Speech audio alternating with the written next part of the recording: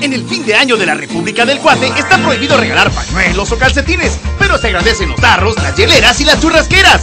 Cada grupo tiene un Santa. ¡Oh! oh, oh, oh, cena. ¡Felices fiestas te desea Brava! La cerveza preferida de la República del Cuate. Y ahora también nueva Brava Mini, con el tamaño perfecto para disfrutarse fría hasta la última gota.